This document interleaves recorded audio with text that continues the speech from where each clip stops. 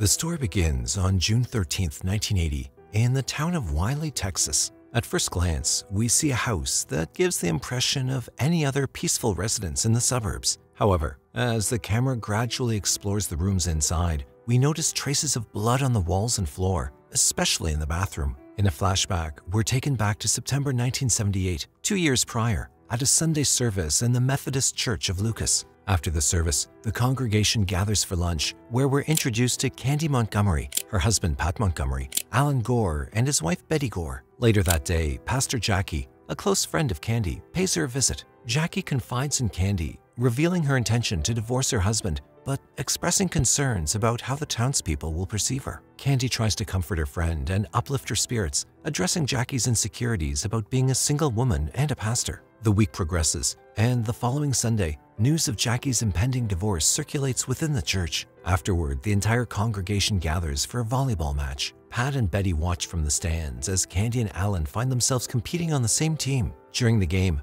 Alan accidentally knocks Candy over and extends a helping hand to lift her up. At that moment, something shifts in the atmosphere as Candy sees Alan in a different light for the first time. Later that evening, Candy confides in her friend Sherry, sharing her surprising attraction towards Alan. She admits that his presence and scent evokes feelings of desire in her, which she finds absurd considering his appearance. Feeling lost in her own marriage, Candy contemplates introducing excitement into her life. As the days pass, thoughts of Alan occupy her mind at odd moments, whether she's with her family watching movies or attending her creative writing class. One night, after choir practice, Candy spots Alan getting into his car parked next to hers. Seizing the opportunity, she approaches him and confesses her infatuation. However, Alan remains unresponsive, and they part ways. Candy later recounts the encounter to Sherry, puzzled by Alan's apparent lack of interest. Meanwhile, Alan also finds himself thinking about Candy throughout the day. However, at home, he faces his own challenges as Betty continually insists on things being done her way, while he remains indifferent.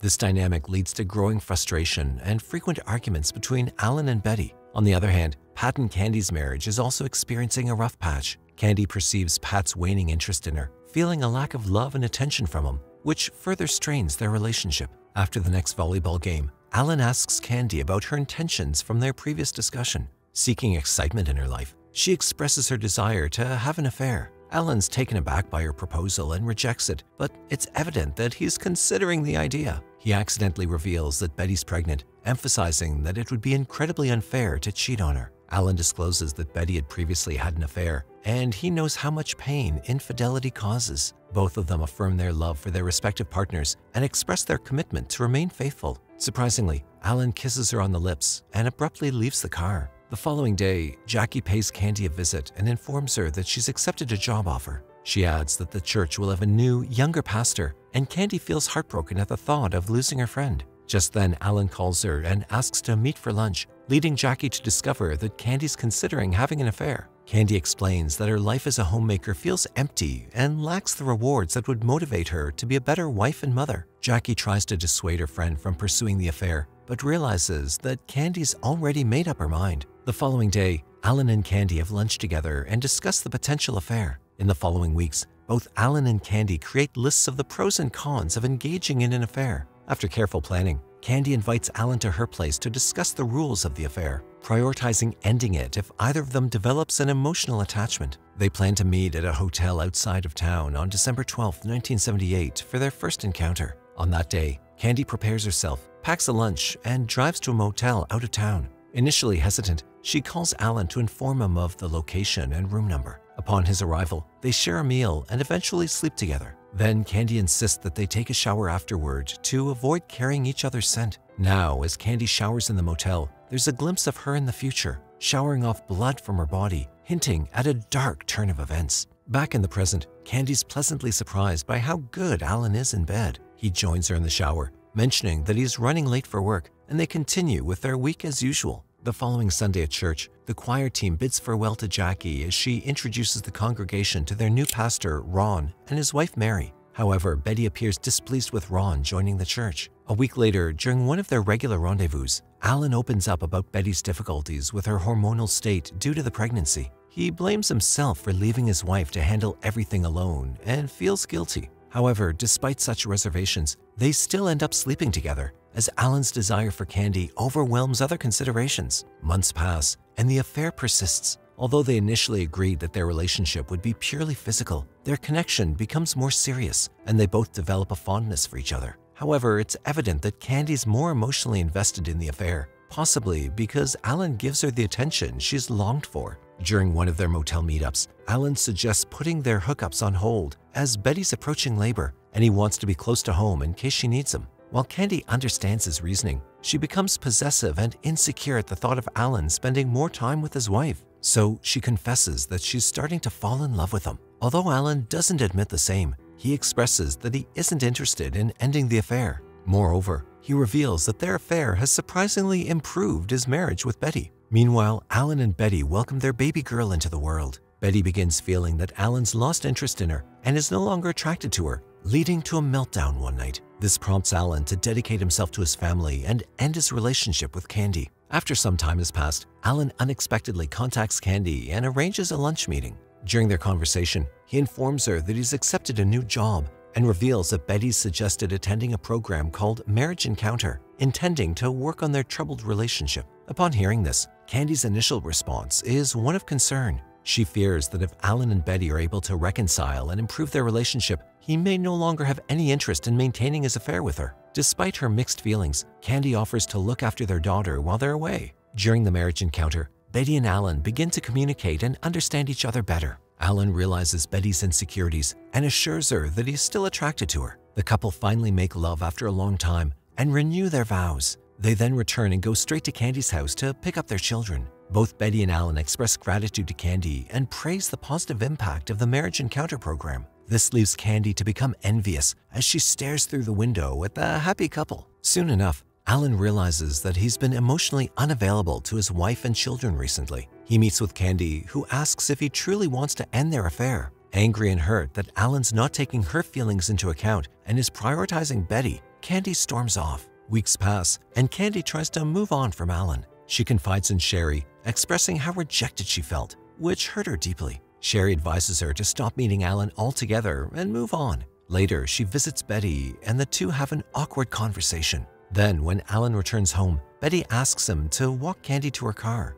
When Candy giggles at his words, Betty observes them through the window in suspicion. Later that evening, Candy talks to Pat about the marriage encounter program and convinces him to go along with her. During the program, they initially struggle to open up and share their feelings with each other, but eventually, they both start to communicate honestly about their desires and expectations in the relationship. Candy tells Sherry about the positive changes she's seen in her relationship with Pat, including improvements in their sex life. She admits that she rarely thinks about Alan anymore. However, when Betty invites Candy and Pat over for dinner, Candy confesses to Alan that seeing him in person would reignite her feelings for him. The dinner with Betty goes well, and afterwards, Candy attends a Bible study retreat. Meanwhile, back at home, Pat decides to search through their belongings to find a letter Candy wrote him before they got married. Instead, he discovers a letter from Alan to Candy, which devastates him. Soon, Pat meets with Sherry and confronts her about the affair, asking if it's truly over. Sherry tries to explain that it ended a long time ago. Pat then asks that Sherry keep this information from Candy,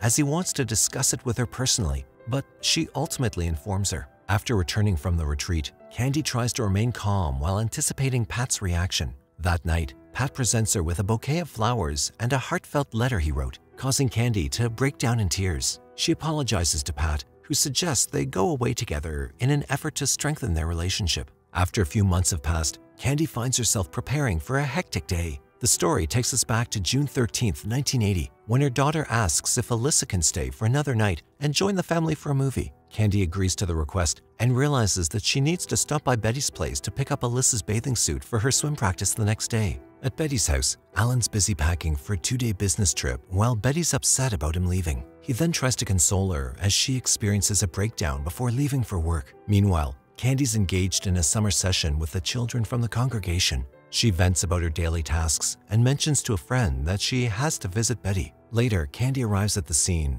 and during their conversation, Betty blatantly asks if she's having an affair with Alan. Initially, Candy denies it, but eventually admits the truth and apologizes to her. With this, Betty stares at her with a blank expression before abruptly leaving the room. Shockingly, she returns holding an axe and, in a fit of anger, warns Candy to stay away from Alan. Terrified, Candy also agrees, and with sympathy in her eyes, she apologizes one last time before leaving. But unfortunately, this only triggers Betty's rage, and she pushes Candy into the laundry room, trying to strike at her with the axe. Before Candy can regain control, she swiftly strikes, severing the tip of one of Candy's toes. The next time we see Candy, she emerges from the house, soaked from the shower she took. Additionally, she's bleeding from her other wounds, but manages to drive back to her own home. Throughout the day, Candy sticks to her routine while attempting to calm herself down. She carefully creates an alibi, rehearsing her story, and shares it with anyone willing to listen. According to her account, she went to Betty's house and lost track of time before running errands and returning to the church. Elsewhere, Alan attempts to contact his wife but is unable to reach her. Growing increasingly concerned, he contacts his neighbors and asks them to check on Betty in their house. He also calls Candy and inquires about his wife's whereabouts, but she lies and assures him that Betty was fine when she left the house earlier that afternoon. Meanwhile, the neighbors take action and enter Alan's house through the open garage door. Inside, they make a distressing discovery, a crying baby and Betty's lifeless body in the laundry room. The presence of a significant amount of blood leads them, and later the police, to conclude that she was shot. The authorities are promptly contacted, and one of the men informs Alan of the tragic news over the phone. Alan then immediately calls Candy to share the heartbreaking information about Betty's death. As the police arrive at the scene and begin their investigation, they engage in a conversation with Alan. He then informs them that Candy was the last person to see Betty alive when she went to get Alyssa's swimsuit. The following morning, Candy receives a call from Alan, who informs her that the police are aware of her visit to his house. Rumors about the murder spread rapidly through the town, causing a frenzy of gossip. In the midst of this, Candy learns that the authorities are aware that Betty was killed with an axe. The police determine that the murder was not premeditated, and based on the footprints discovered at the crime scene, they believe the perpetrator is a woman. Eventually, Alan returns home, devastated by the news of Betty's murder. Overwhelmed with guilt, he blames himself for not being there for his wife. Candy and Pat bring Alyssa back home, and Alan requests that they remain present as Candy breaks the tragic news to their daughter. The following day at church, the congregation engages in conversations with Don, a lawyer and member of the church. Candy approaches them and requests a private conversation, expressing her concern about being the second to last person to see Betty alive. She wonders if she should be worried.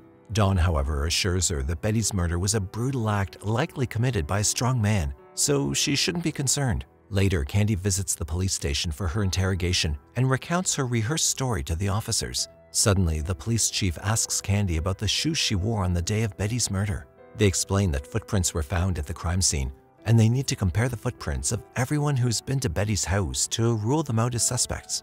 In a blatant lie, Candy claims she was wearing tennis shoes. However, once she returns home, she proceeds to destroy the slippers that she had worn to Betty's house that day. Afterward, the police also question Alan about potential suspects in the murder case. He admits that Betty had an affair, but denies his own involvement in any extramarital relationships. However, as the evening progresses, Alan eventually confesses that he did have an affair with Candy Montgomery. Eventually, the police call Candy for further questioning and request a fingerprint sample from her. They then inquire about her relationship with Alan, to which she responds that it ended eight months ago. They then ask Candy to provide a pair of slippers to measure her foot size and notice a cut on her foot. Feeling uneasy about the accusation, Candy and Pat talk to Don, seeking his assistance in handling the case. Now, John advises them to share any confidential information only after officially hiring him as their attorney. He then requests Pat to leave the room and encourages her to be honest if she's guilty. However, Candy persists in asserting her innocence. Consequently, Don assures her that he'll help her through this ordeal and advises her to refrain from any contact with Alan. In the meantime, Alan finds himself in Betty's hometown attending a memorial service for her alongside her family. He confesses to Betty's parents about his affair with Candy and the fact that she's now considered a suspect in the murder. Back at Candy's house, a reporter arrives for an interview with Candy regarding her involvement in the case. Worried about the situation, Candy contacts Don to inform him that the police are interacting with the media. Don promptly calls Candy to his office, where she finally confesses to him that she is indeed the one who killed Betty. She constructs a narrative stating that Betty attacked her with an axe and she acted in self-defense to protect herself. Following this, Don urges Candy to maintain confidentiality between them and informs her about an upcoming polygraph test she'll have to undergo. Acknowledging his inexperience in such cases, Don mentions the need for assistance from a criminal lawyer named Robert.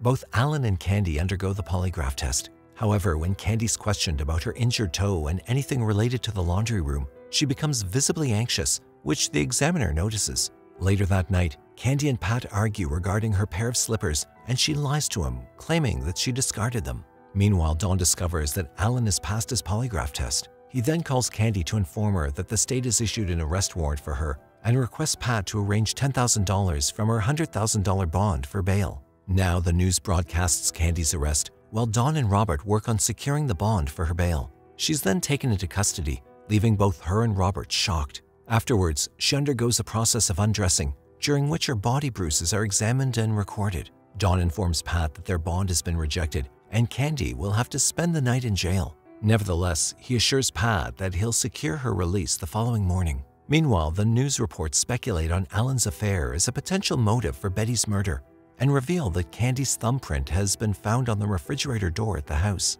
The following morning, Candy's released from prison and Don addresses the reporters, proclaiming Candy's innocence. Determined to rectify the situation, Don insists that Candy needs to lose weight and appear frail so that the court and the jury cannot perceive her as someone capable of wielding a heavy weapon like an axe. In addition to this, he also urges her to visit a psychiatrist in Houston.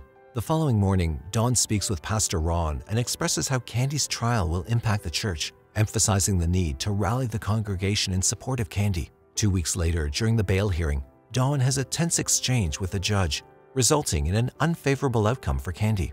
At Jackie's house, Pat informs her that Candy's keeping many details of the case hidden. With this information, Jackie confronts Candy, seeking answers about her cuts and bruises, but she simply evades the questions and maintains her innocence. Following this, Pat causes a scene at Don's office, demanding answers about Candy's situation. Meanwhile, Candy undergoes a therapy session, which helps her confront her deepest fears, including childhood trauma, leading to an emotional breakdown during the session. Afterwards, tension grows between Candy and Pat after he learns from Don that she did kill Betty. The next day at the courthouse, Don surprises everyone by publicly acknowledging that Candy did kill Betty, but argues that it was an act of self-defense. He claims that Candy is the only living witness who can reveal the horrors of what transpired that night. Upon hearing this, Betty's father talks to Alan, attempting to make sense of the self-defense argument presented by Candy's defense team. On the day of the hearing, Tensions rise between Judge Tom and Don as they argue about Don's statements to the press. The judge then holds Don in contempt of court, ordering him to serve 24 hours in prison and pay a fine. The prosecution then calls Alan to the stand as their first witness, questioning him about his affair with Candy and whether Betty was aware of it. However, Alan claims he was unsure if Betty knew about the affair. Holding on to this uncertainty, Don cross-examines him about Betty's behavior before her death, painting her in a negative light. He then argues that Alan and Candy were not in love, suggesting that jealousy was not a motive for Candy to murder Betty. During all of this chaos, the entire town speaks ill of Candy, but Sherry remains supportive of her friend. The following hearings include testimonies from neighbors who discovered Betty's body and church people who interacted with Candy after the incident, recounting the brutal murder scene and other events. Meanwhile, Don insists that Candy stop taking medication to suppress her emotions believing that the jury needs to see her vulnerability. On the other hand, Pat expresses gratitude that Candy survived the incident considering Betty's size. Meanwhile, Don continues defending Candy in the media, and during the second hearing, the prosecution examines the investigating officers. Don cross-examines them, attempting to propose that Candy did not plan the murder due to the messy crime scene and the presence of evidence such as her fingerprints. In the next hearing, the pathologist describes the gruesome wounds on Betty's body including the distinction between premortem and postmortem injuries. He claims that Candy brutally assaulted Betty 40 times while she was alive and once after her death. Don tries to counter-examine the pathologist, arguing that self-defense cannot be ruled out. As the prosecution rests its case, Judge Tom calls Candy as the defense's first witness. She faces intense questioning from Don, who's urged her to be as vulnerable as possible to sway the jury. He begins by asking if she'd been involved in any previous physical altercations, and Candy denies any such incidents. Next, Don proceeds to question her about the day of the murder and the events that followed. Candy then recounts the affair she had with Alan and describes the sudden attack by Betty. She reveals that Betty hit her on the head and forcefully struck the axe into her leg. As Candy relives the traumatic moment, she begins to break down emotionally. Furthermore, she explains that she believed Betty intended to kill her which prompted her to grab the axe from her hand to defend herself. Then Candy tearfully admits that she struck Betty once, and when she told her to be quiet, she struck her multiple times on the head out of fear. She then asserts that she never intended to kill Betty, emphasizing that it was a situation that unfolded in the heat of the moment. Later, Don brings the axe used in the murder in front of Candy during the court proceedings, causing her to break down emotionally. The prosecution proceeds to cross-examine Candy about the incident and presents a piece of evidence, the lens to her sunglasses, which was found in Betty's garage. The prosecutor alleges that Candy had gone to the garage herself to retrieve the axe, contradicting her earlier statement. In her defense, Candy tries to explain that the lens may have ended up in the garage during the physical altercation with Betty. However, the hearing takes a turn against Candy as her credibility is called into question. Following the intense hearing, Don suggests that Dr. Fred Fason, Candy's psychiatrist, be called as their next witness. Additionally, he also reveals his intention for Pat to testify next on the stand. The trial continues to unfold, with Candy's fate and the jury's decision hanging in the balance. As discussed, Pat takes the stand as a witness and takes responsibility for Candy's relationship with Alan. He admits that his emotional unavailability drove Candy to seek emotional fulfillment elsewhere. Pat then paints a positive picture of Candy, expressing gratitude that she survived the altercation and emphasizing her strength. However, the prosecution sees through Pat's testimony and portrays Candy as a manipulative individual. The other witness called to the stand is Dr. Fason, who testifies about Candy's underlying mental health issues and reveals that she suffered from dissociative identity disorder. He explains that her childhood trauma was triggered by Betty's actions during the attack, which led her to dissociate from the reality of the murder. The defense argues that Candy's dissociative episodes and the trauma she experienced led to her anger and loss of control during the incident. Don continues his questioning of Dr. Fason, trying to establish that Candy knowingly killed Betty. However, the psychiatrist asserts that it's highly unlikely for Candy to have done so. Then, the prosecution attempts to cross-examine Dr. Fason, but fails to undermine his testimony. During a break in the hearing, Candy confronts Don about why he showed her the murder weapon during her testimony. Don explains that it was necessary for the public and the jury to see her as a human being with flaws and vulnerability. The final witnesses called are fellow churchgoers who share their perspectives on Betty. Pastor Ron is among those who spoke negatively about Betty. Meanwhile, Don's wife expresses her unhappiness with how he portrayed Betty in order to save Candy. Eventually, the hearing concludes with Don being arrested for contempt of court, but he is released on emergency bail filed by Robert. The next morning, the jury begins deliberations while Candy expresses her anticipation for the trial to be over and hopes for a verdict of not guilty. However, Pat believes that regardless of the outcome, their lives will never be the same. He predicts that the jury may not find Candy guilty, but may also not find her innocent, which would require them to leave Wylie and start anew. Candy acknowledges that she's fortunate to have Pat's unwavering support throughout the ordeal. In the final credits, it's revealed that Candy and Pat have separated after their move to Georgia. Alan Gore, shortly after Betty's death, married a woman from the same church but later divorced her. He went on to marry a third time and eventually settled in Maine. Don, the defense attorney, went on to pursue a political career and ran for governor of Texas a few years after the trial. However, tragically, he ended his own life in 1998. The autopsy report on Betty concluded that she was not pregnant at the time of her murder. And on the other hand, her children were adopted by her parents following Alan's remarriage. In the aftermath of the trial, Candy worked as a therapist in Georgia. She works alongside her daughter Jenny, helping teens and adults with their mental health. The end.